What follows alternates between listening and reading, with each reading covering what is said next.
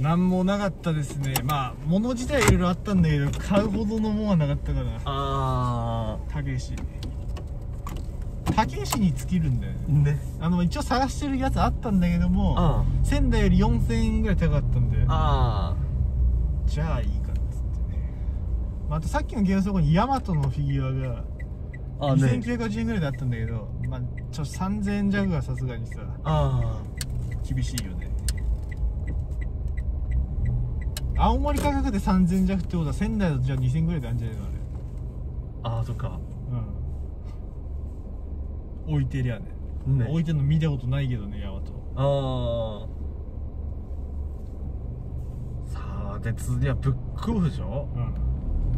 あそこさ行くたびにさ、うん。マック並んでて入れないよね。そうだね。前回入れなかったらね。で今日も土曜のこの時間と思うとさうん。ワンチャンワンチャン多いね。ね。この放送よく聞く単語最上じゃない？ワンチャン。ああそうか。うん。あれ君も言う？言わない。じゃあそうかボブが言ってんだ。ようん。ワンちゃん宿題やったわ。うん。ワンちゃん宿題やったなまね。そうやね。多分さこの放送聞いてる人さうんあんまイメージないっていうか多分君もイメージないだろうけどさはボブもあの放送でもたまに出るけど本来の一人称俺だしさ。あうん。であのワンチャンとかもなんか漏れて出てきてるしさ。うん。割と喋り方違う説あるよねファンと。うん。もうちょっと昔の君の知る暴君に寄ってるのかもしれない。ワンちゃんね俺ワンチャンを使う系のワンちゃんワンチャンワンちゃんじゃあのスマップの曲にもあるよね。ん。ワンチャンなんとかなんとかのテレレレレレレレレみたいな何も分かってないけどスマップの歌といえばさ、うん僕は昔から気になってんだけど調べもしてない歌なんだけどさ、うんメンバー紹介する歌あるよあるあるある強しみたいそう剛しななんとかかんとかです強しみたいなそうそうそうそうそうあれなんていう曲なんだろうね曲名は忘れたな。うん。でも間違いなくあるよ。うん。メンバー紹介ソング。うん。一回だけなんかテレビで歌ってるの聞いてこんな歌あんだなって思ってから二度と聞いたことない。しかもいつ歌うかによって歌詞内容変わる。はいやあのりょうさん慎吾がやってた頃はうん「こっち亀りょうさんほれなんとかかんとか慎吾」ってやつだとあうん。いやあの全然いっつも違う太田が作詞してるやつあるよね。あるあるあるある。それはなんていうやつなんだっけ？太田が作詞してるのはね曲名は忘れたけどうん。えっとね自分の心が変わればきっと同じように世界も変わるはず。思いもよらない方法でっていう曲だね。なるほどこれで調べりゃ出ると思うよ。うん。今の歌詞で。うん元気な君が好き。今は遠くで見てるよ、ドゥンドゥルルル。うん、これ名曲だと思うよ、あなるほどねうん、姫ちゃんのリボン主題歌。ああ。笑顔の元気。で何気に並んだけどさ、うん。やっぱこうなってんだね。ね。ちなみにどうしたい？待ってもいいし、まあ、若干待ってみればいいんじゃない？ああ苦労するの遊んじゃうの。昔ありとキリスどうせならば。なその真ん中。僕らはありギリスだね。あそんな曲だっけ？うん。そんな曲だっけっていうのはあれだけど。ああ本物も。ああ偽物ももう気にしない気持ちよければいい。って歌詞やんだけどさどういうことやって思うけど、まあ今聞いてても分かんなかったね。何をやってんだその人たちは。ねえ。いやいかがわしい方かもしれないよ。うん。でも偽物も本物も気にしないっていう方向だとなんかそういうアイテムを使ってんのかなみたいな。うん。いやなんなら性別なんて関係ないとも聞こえてくるからね。なるほどね。あほげあオッケー。ーこちら葛飾区へい亀有公園前。発出場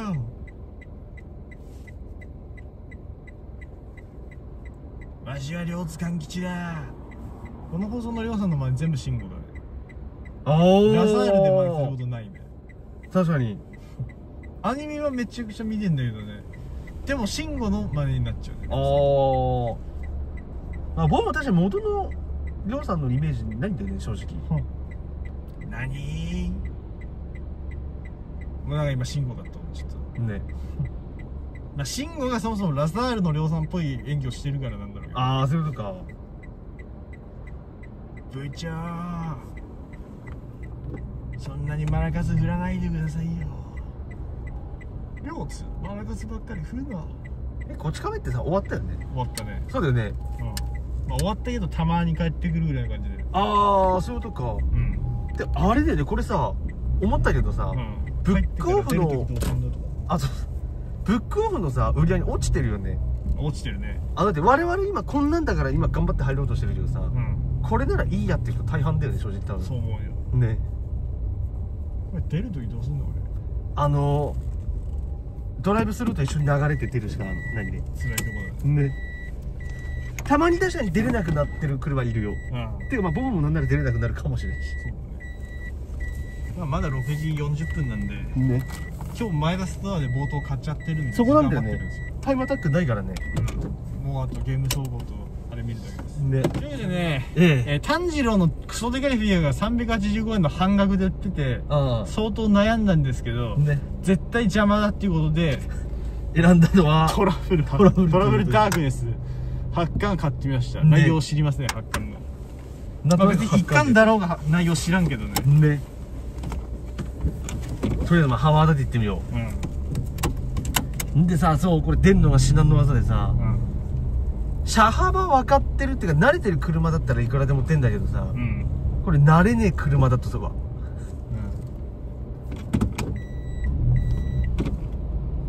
なんだっけ。上限の鬼は何人？であのだ抱きの中にそはう抱きの中には九太郎みたいなうん。鬼滅の刃オリジナルソング。鬼滅の刃だね。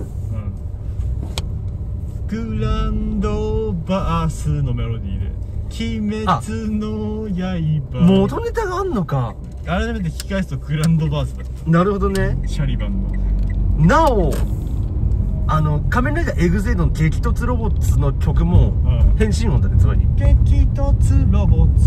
そうそうそう。激突ロボッ最大級のパワフルボディ。ツ誰だか。ダゴスパン。たどる巡るたどる巡るたどるクエスト。ね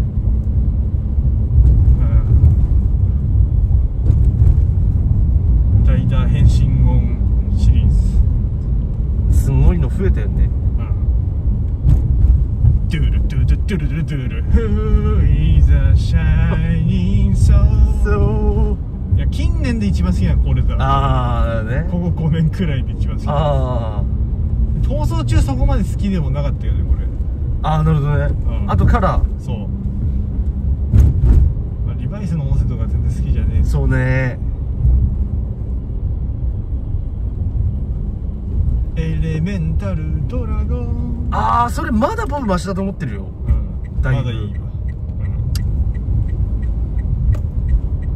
あのなんかリズミカルだしその前のところ。うん。うん、セイバーむしろ歌になってからの方がいいですそうだよね。印象に残るの歌だもん全部。ね。なんとかかんとかのなんとかかんとか。覚えてないもんね。そそうだよね。かつて世界をなんちゃらのあれがいたうん覚えてねえわねクロスセイバークロスセイバークロスセイバー。覚えやすいこれ以上覚えられないけどね。あるもんねも。っと。なんとかかんとかなんとか炎クロスセイクロスセイバーよかったああよかった？よかったよ。そっか。近年で一番好きな最強形態クロスセイバーだけど。ああそうか。うん。まあああ近年っていうのがどの辺からかっていうとまあビルド以降で一番好きなのクロスセイバーだわあーあーまあボブ01かな。02メタルクラスターにせよ02にせよ。うん。まあまあ02もいいけどね。ね。まあやっぱ何回も言ってるけども中途半端に色増えてるのが僕の中で微妙で。うならもうクロスセイバーでいいやみたいんな。なるほどね。色変わっちゃえっつって。そう。形ほぼ同じで色だけ変えてみましたね色があまりにもまあ面倒くせえ色になっちゃった結果全然フィギュアがされないのはどうかと思うけど。ああ。あれ僕あれ主要サンライダーの色がさうん。とっちらかってんのはちょっと微妙というかさ微妙だね。赤青黄だったのにうん。青白なんかまあこの色ん。みたいになっちゃったじゃん。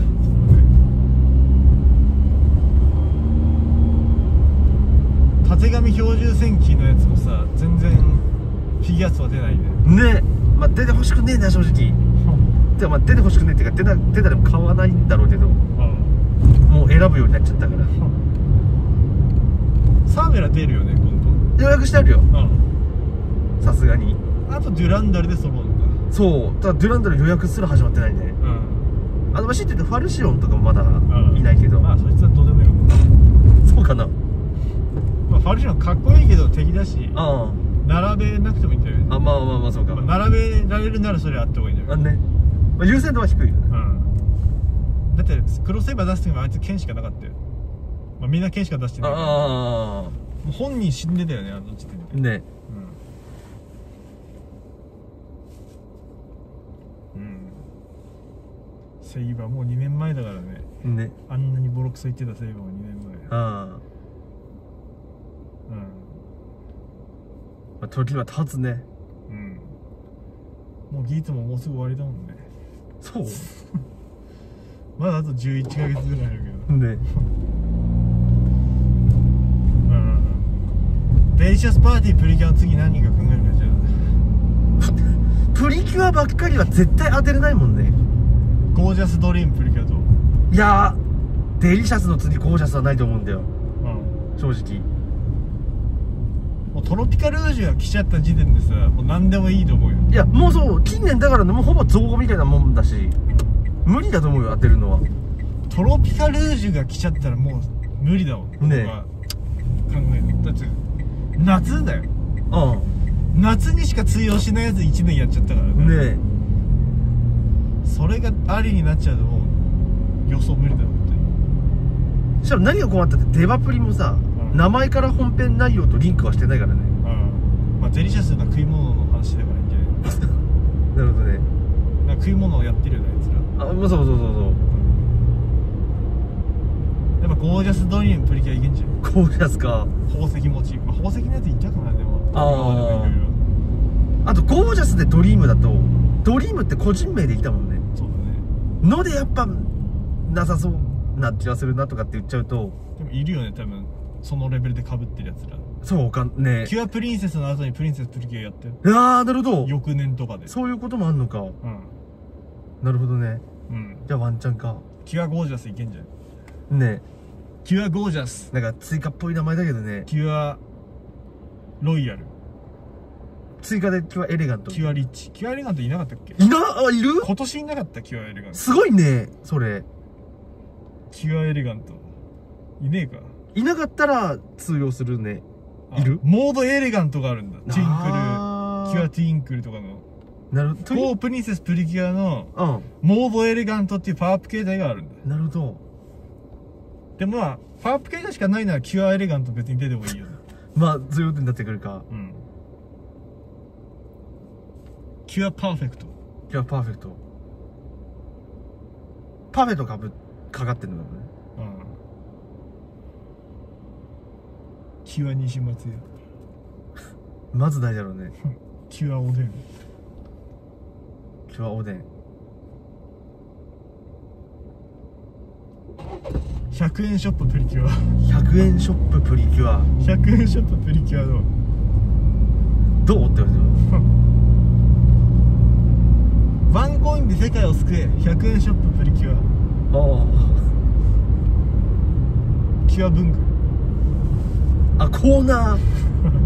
コーナー。キュアおもちゃ。あキュア文具。キュア台所用品。あなるほどね。ダメだね。あキュア台所用品。あね。流し台ビームえでもさプリキュアの題材なんてやっぱかぶるしかないんじゃない？うん。お菓子とかなんかお菓子も2回やってるもんね。ねえ。お菓子的な食い物系。そうかと思えばトランプっぽいのもいるでしょ。うんいや女の子っぽいってなんだろうって考えるとからねう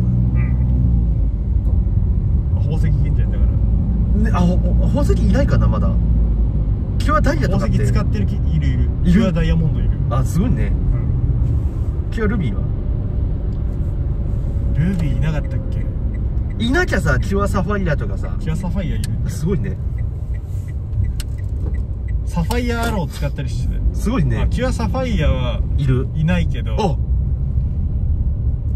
でもキュアアクアがサファイアアロー使ってたしなるほど。サファイアスタイルとかルビースタイルを使う魔法使いプリキュアいるみたいな。わーすごいね。うん。トーパーズスタイル。なるほどね。うん。キュアコーヒー、あそれじゃいいんじゃねえかね。うん。飲み物パーティーそうそうそうそう。飲み物パーティー。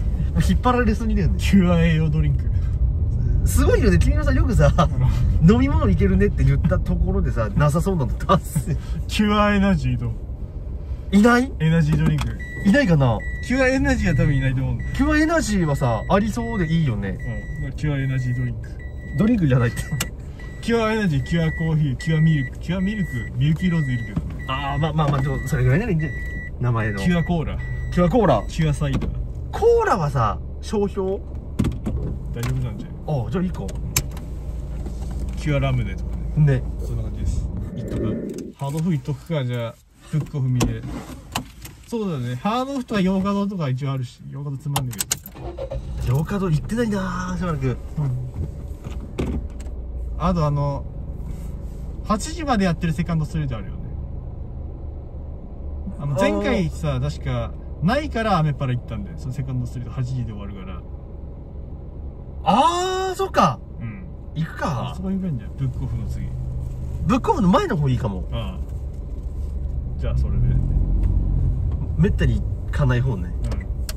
うん。どうせここの向かいにあるセカンドストリートはつまんねえから、ね。見る必要ないもんあうん。まあ、今言ったよろずやの感想としてはプラもいっぱいあったんですけど、まあ、値段もまあ普通ぐらいあね。だったんだけどただ今からここで買って新幹線乗って仙台まで多分新幹線混んでる中美少女プラモの箱担いでいくのしんどいってあことで。あ値段的に迷ってるのまあ一応やめました。ね、家の近くで買った方早いということで。うん、どうせ売れてないと思うんだよねまだ。ああ先週行ってあったけど。金型すぐにあうん。あのアレスギアアイギスのプラモはゲームのゲームで使える武装の特典 QR コードみたいな番号みたいなのついてくるんだけど、うん。それ入ってませんって今だってなってあね。入ってればゲームで使えて便利だし。あ仙台のにもし入ってんだならそれだとはいいしね。なるほどね。うん。そうだね。入ってなかったとしてもこっちでも入ってないしうん。っていうことで。確か仙台の方が500円ぐらいここより安い。ああなるほどね。うんじゃあ明日見てまあ売り切れてたら残念ってこまあ最悪こっちで押さえとくっていうこともできるよね。まあ来月1ヶ月間ちょっと待ちになるけど。うん。まあ今うちにプラも死ぬほどあるからさ。確かにさ1ヶ月待ってもそうだよね。もう今週やばいことになってるからね。あのー、プラも予約しないともう買えない時代だから予約してるわけじゃん。あでケンプファーとアッガイと寒冷地型ジムみたいな。あ HG のまず来まして。で女神デバイスのアスラ忍者葵みたいなやつ。あこれもまあ春先に予約したやつ今来てあ。で明日ロボット魂のジンが届くらしいんだなるほどね。うん。さらに総裁少女庭園の水着のあ色違い予約してんだよ。なるほど。それ来週来るんだよこの時点でもうだいぶ死ぬんだけど。ね。うん。そ恐ろしい。さらに1個増やすとなかなかだから。え君さあれじゃん見組み立てのプラもさ、ん。今2030で聞いてる。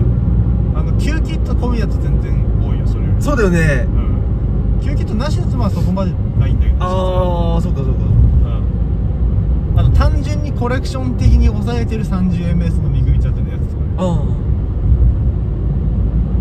なかなかいってるよねうん。数。代わりに完成品フィギュア大体売ったけど、なるほどね。うん、ロボット魂ほぼない。よ、ああそうか。うん、エルガイムマーク2とジャスティスガンダムとああとこの前出たばっかりのストライクぐらいしかもうロボット魂ない、うん、ああそうか。あと全部売った、すごいね。うん、だからちょっとお尻開いたも。ん、ああなるほどね。うん、武装神経の箱でかくてお尻だいぶ埋まっててああ実家に置いてくるからね。実家パンクしない？まあまだ大丈夫なんじゃんなるほどね。うん。実家にいらないもの全部送って。ね。どうせあげないし。あそうだ今日は武装神器全部あげ出そうとかなんだよ、あまあなかなかね。うん、まあ箱だけ置いてきてもいいし。あ武装神器マジで箱でかいから。ね。潰すわけにもいかんしなあの箱。うん。頑丈な箱だしあれ。ね。箱ないとだいぶ価値下がるしねあうん。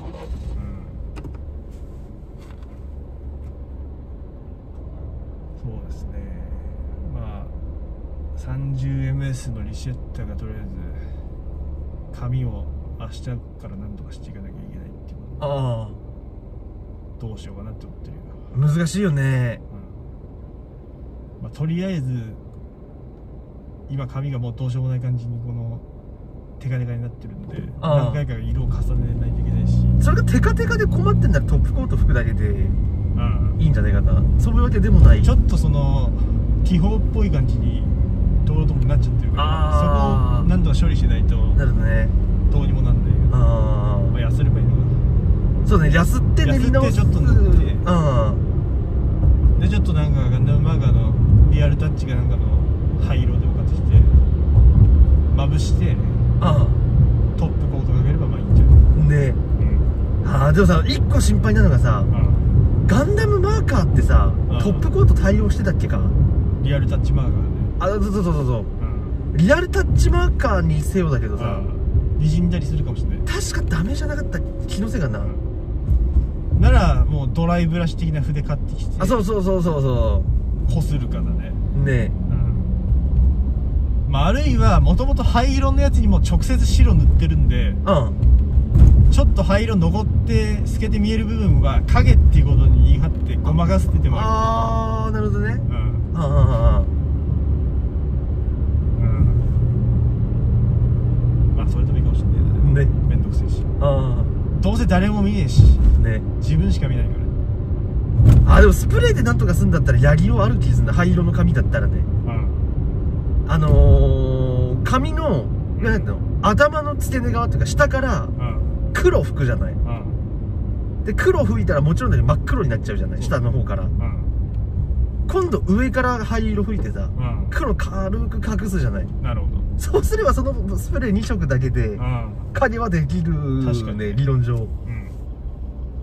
それでもいいかもしれない。下から黒吹いた後上からグレー吹く感じだね。うん。筆でそういうのやると相当厳しいからね。そうだね。多分ほぼ無理レベルだとは思う。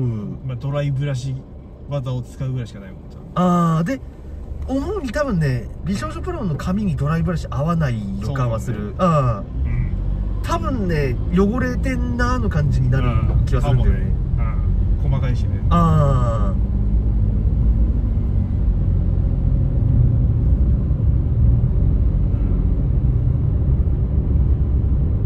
まあエキスポ的にはエアリアルがそのうち出てくるんですかね。あそうそうそう。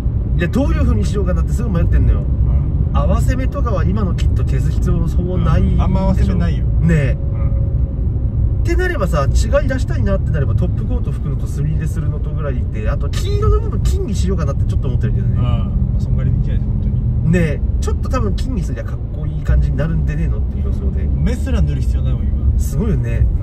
うん。分割でパーツやってなんとかなってるからね。ねえ。えれえことなってるよね。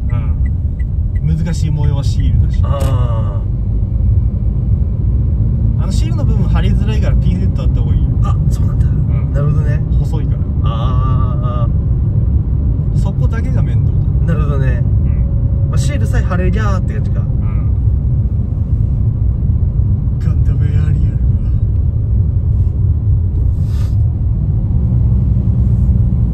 武田スーツ あの一文字消えてるやつね、消えてはいけない文字が消えてしまった。あれ違うよなあって思うよね。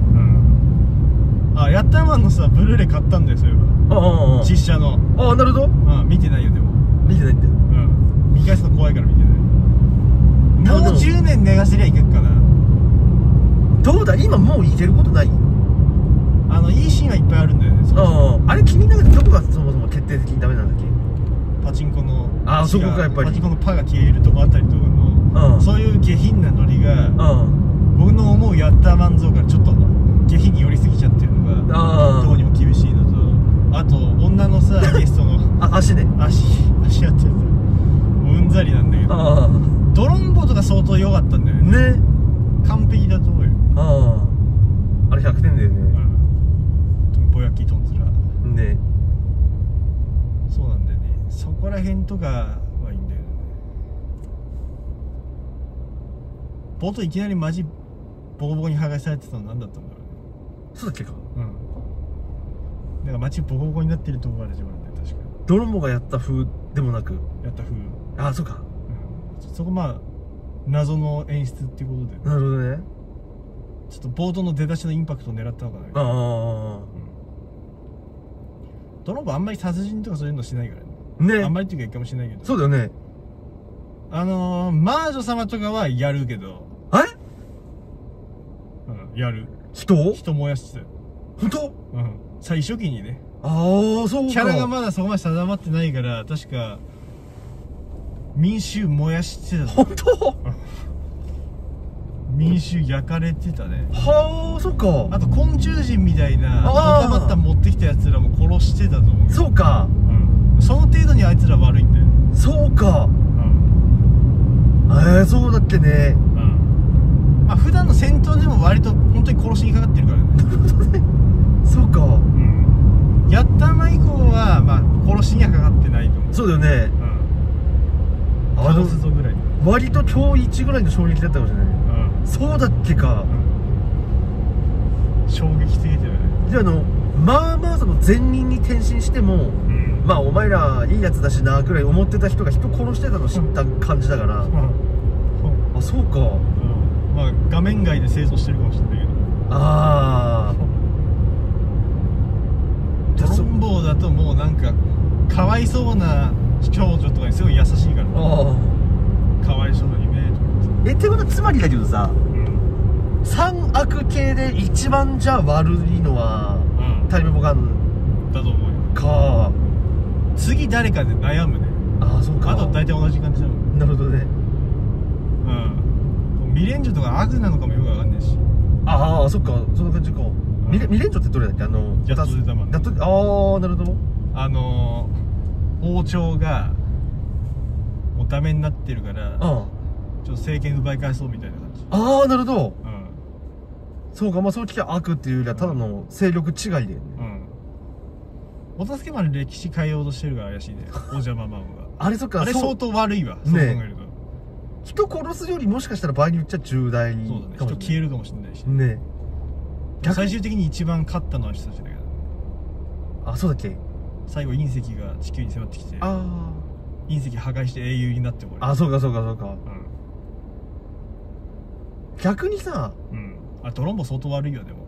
何した？インチキで。めっちゃ金せしめてる。よまあまあまあそう言われりゃね、うん。で逆にさ他のやつも財源はそうだったりしないって違うか。アクダマンはニャラボルタが持ってきた金塊使ってる一発まあまあ会社だから。なるほど会社ねの金でやってんじゃないですかお助けもそうか。あれまあトンマのマンとかなんかやってんのかね。なるほどね。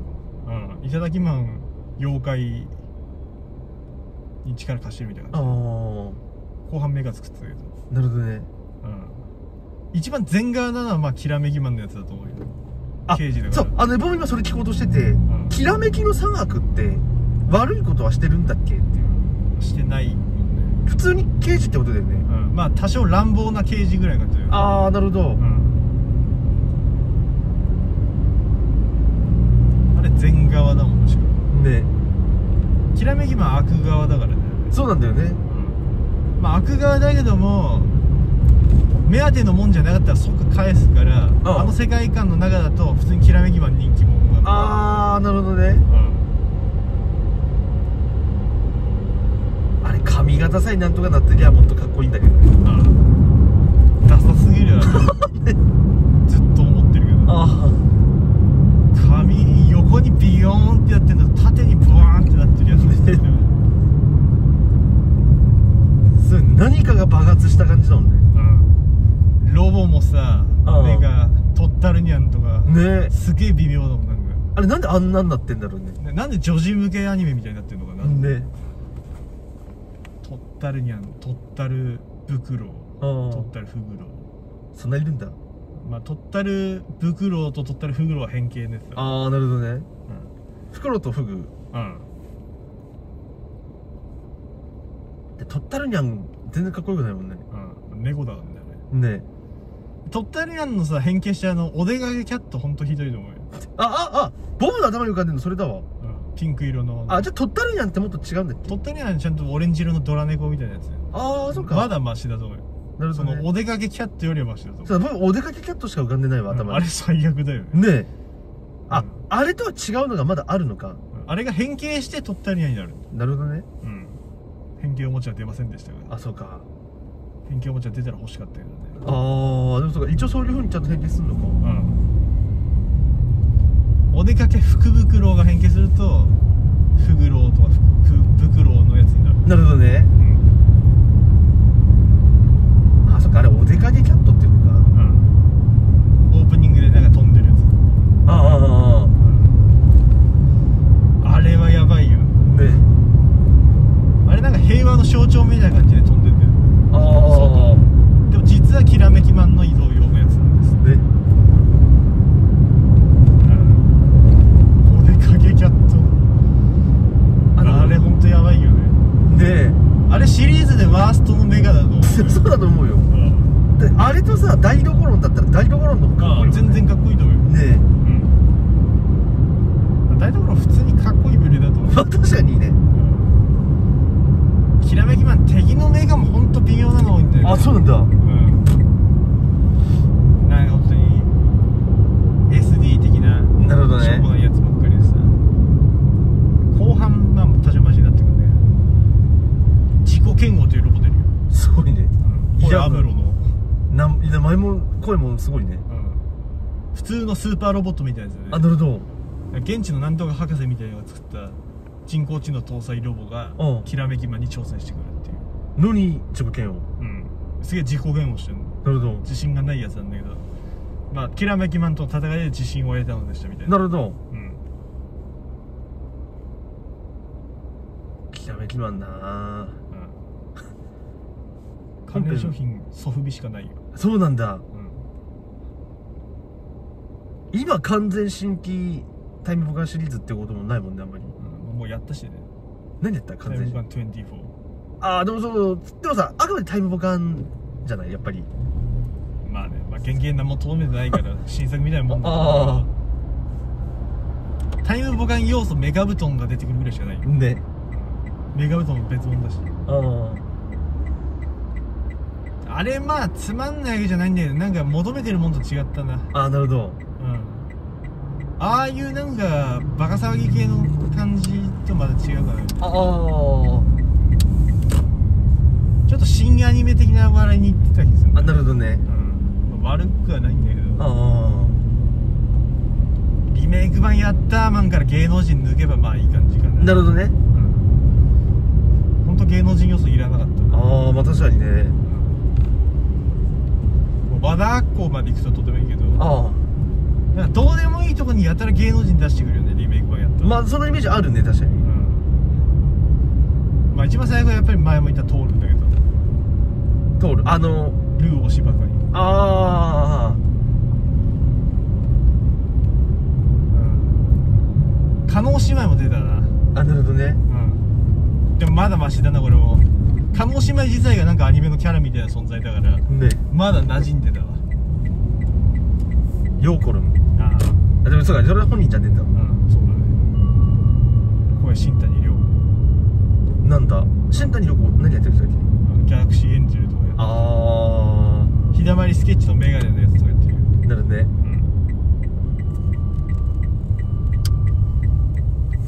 ん。美里さんってさ、うん、他に何やってる？ハンコックとかじゃない。ああなるほど。あとマリオ館長とか。あそうじゃんね。うん。のび太のママも今やってるよ。あそっか。セーラームーンだし。ああまあだ代表か。うん。言われて思ったけどそっかそんだけいるか。うん。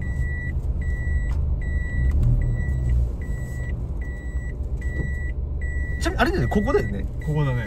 ね。ついてから聞くのあれだけど。うん。イカルスンジです。イガルステージに。みさとさんハッピードラッグに行くのやめてよ。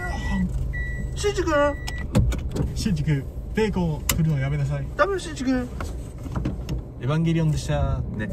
金河転生。ここでねうん。ルート選択が入りましてはい。今7時半でしょ？そうだね。でさこっからさうん。ハードオフとかイトーヨーカドーのあたりがまあまあねあるのよ距離。うんなるほど。じゃあとりあえずブックオフに行けばいいんじゃでないそこでね逆になんだけど、ん。ブックオフ行くとうん。今度こそうん。ハードオフルートからさらに遠ざかるんだけどうん多分ハードじゃないや。ハウドってなんもないもんね。ねえブックオフ行くとうん。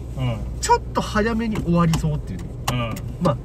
まあぐるぐるするしかないのねえとりあえずじゃあうん。ブックオフの方へということで。うん。今日は久々に何も買ってないね。ねまあ買ったけど30円分は。あとトラブルいっぱい買って次行くブックオフも何もなかったらトラブルだからね買うの。えね。しかもダークネスああうん。よりエロい方だそう。あの月刊連載かなんかの方。ね。あの普通のトラブルは普通の少年ジャンプだから。ね。ちょっといまだそまだの普通だと思うよ割と健全なんだけど、うん。全然でもないけど。ダークネスはちょっと行くとこまで行ってるからね。うん。なんか目に映ってるあやつとかで表現していくんだよ。なるほどね。うん。書いてはいけないものを。ああああああ天才的な技法を使ってくるみたいな。いっちゃんすごい時さ、うん。乳首書いてない胸の裏のページにさ、はあ杏仁豆腐食ってるページでさうん。あの銀杏うん。あんだけどはあすかすとうん。おいこれ乳首じゃねえかっていううんこの丸さすがだよねうん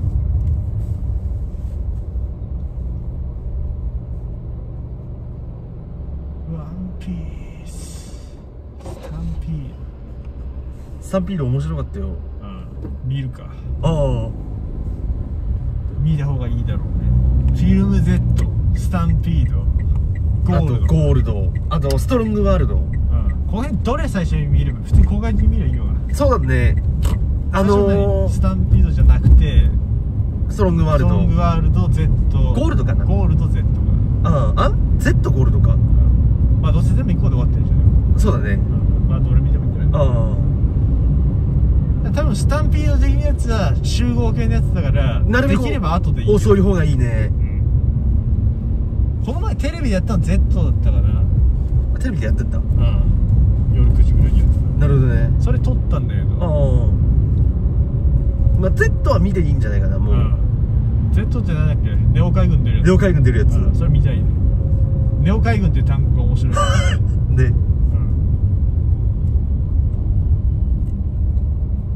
うんネオだって君がなんか学校廃止してネオ学校の話してるなら、うん。発想一緒だもんね。うん。ネオ海軍と。ネオライダー。ネ ZOJ シンがネオライダー扱いなんでしょ。そうなんだ。っうん。ていうくくり。うん。くくり。なるほどね。うん。まあ平成でも昭和でもないやつら。ああなるほどね。ネオライダー。いやあいつら昭和に入れられてるのマジで意味わからんからね平成だもん完全に。あじゃあ我々昭和生まれの人ってことになるもんあね。Z93 年だから。ああ。中94年。多分。新92年ぐらいだったか意地でも空が以前のやつを平成扱いにしたくないんだろうね。なうんまあ平成仮面ライダーシリーズではないからね。ね。今さボブさうん。ちょっと反応しそうになったんだけどさ要はあの我々がよく知る地名がバスに書いてあってさ、ん。へえって思ったなるほど。の、うん。なるほど。まあそうそう。いバス行くもんねだって。うん、そうそうそうそう。ん。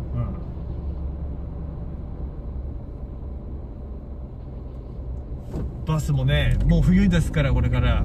うね。時間通りには来ませんよ青森のバスは。そうなんだよね。平気で数十分遅れるから、ね。まあ雪でしょうがないから。ねでもうしょっちゅう止まってるもん来月の家電フレーズもう雪の可能性あるからね。あるね。多分来月のまあ20日前後ぐらいにやるとして。あただ最後に雪見かけたの多分ゴジラの怪獣惑星見た時だった。なあああ11月にやった時に雪すげえ降ってたの。ああの時やたら積もってたよね。そうだね。一日で。うん。あれだってあの前日まで雪なかったんだよ。うん。信じられないと思うけど。なんか弘前かなんか行くのにめっちゃグラグラしてたよ道ね。雪で。あーまた冬来んのがめんどくせえ。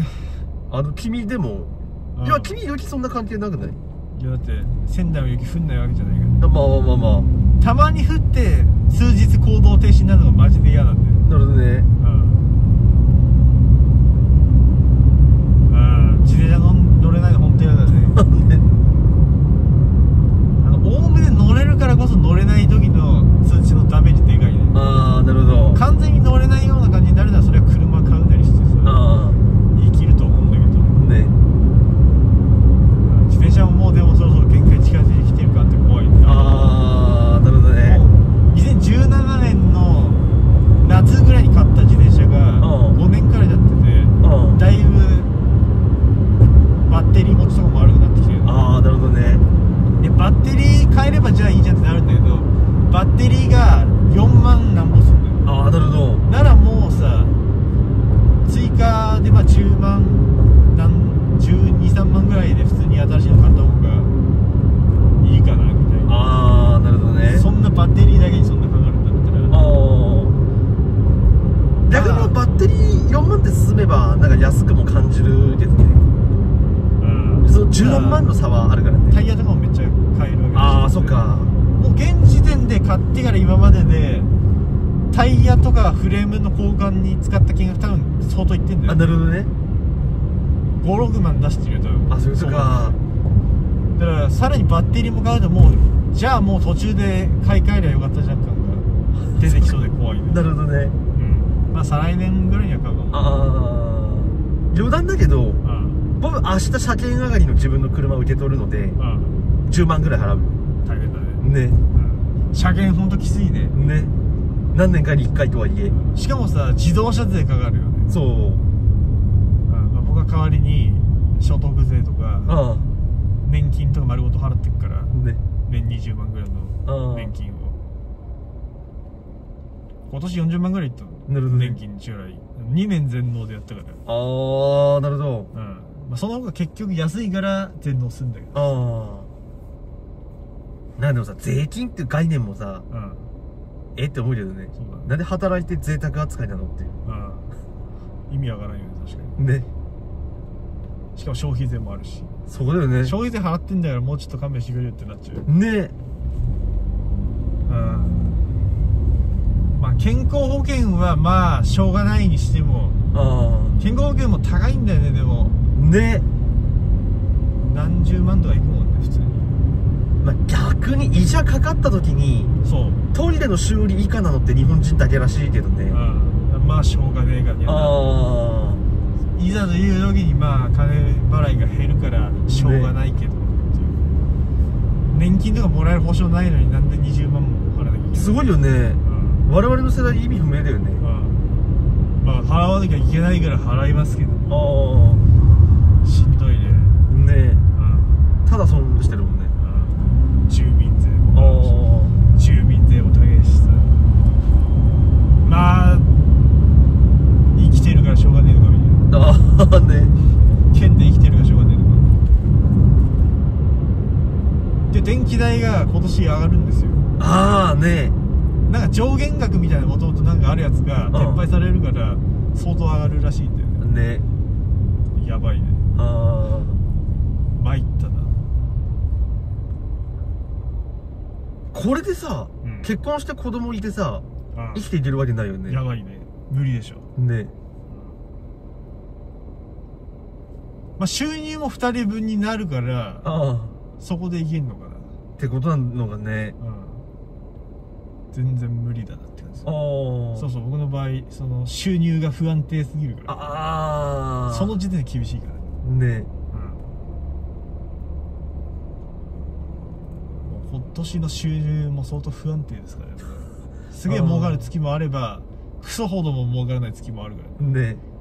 今月ちなみにブログ相当儲かったけどね。あそうなんだ。うん。なるほどね。あの新型 iPhone と新型 Pixel が出てあそれでめちゃくちゃケース売れたんだよ。あなるほ保護フィルムと。どまあ売れた個数だけ今見てみるああなるほど。なるほど史上最高レベルに売れてたね。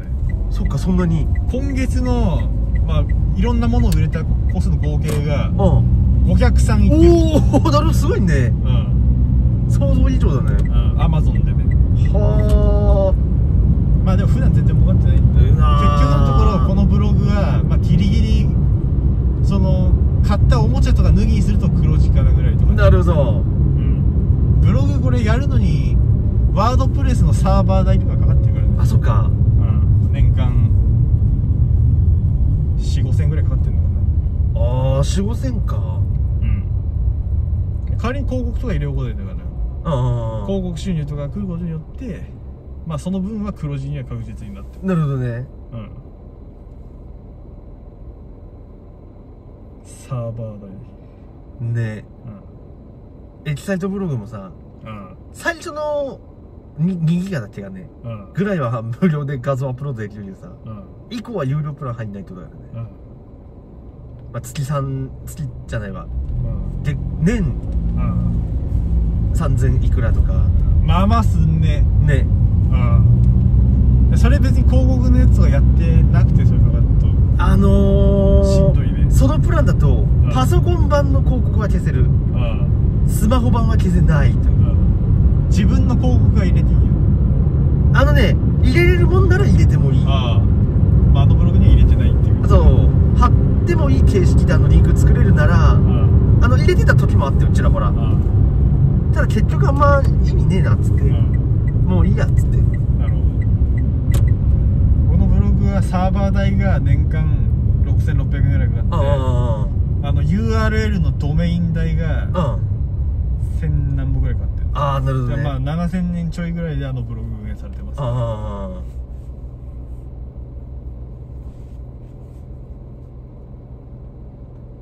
あなかなか何するにも金かかるもんね。うん。まあ僕の場合も金稼ぎで完全にやってるんでああまあしょうがないかな。るほどね。なこれ経費出してるってことですね。あブログ運営費はさすがに経費で、あねうんおもちゃ代は経費にしてないよちなみに。ああまあそうかちょっとさすがにそれ怒られるかなと思って。ああまあね。蔵元がは全部自分の金でやってますあああでもさそこの判断ってさ難しいよね。うん。本人の考え次第なとこあるよ。ね。考え方によってはプラモトが全部あれ経費にしてもブログの記事するならいいと言えばいいのかもしれない、うん、ねだってあの言っちゃったんだけどさうん。ゆああでも違うか。ね YouTuber でもさうん。これ経費で落ちます落ちませんの会話がさん。飲み代とか入ってたりするのよ。ああ微妙だもんね本当に飲み代って。ね飲みも結局その仕事のなんか、ね、会議みたいなのが含まれるんだったそうらそうそう。まあ経費といえば経費にはなるはずなんだよえね。うん。ただその質問されてた人は落ちるわけねえだろうとは答えてたけどうん。難しいよね。まあ要するにだけどさうん本人のあれ次第で経費にしてる人もいるだろうからね。うん、その結局国の人にもし質問されてちゃんと答えて納得させられるんだったらいいんだと思うよなんでもね。そこがね難しいから高校とかで教えればいいんじゃないの？あと思うよ。あね。じゃあ何か買ってきます。ここ絶対何か買ってくるからね。あそうかそうかそうか。んさよなら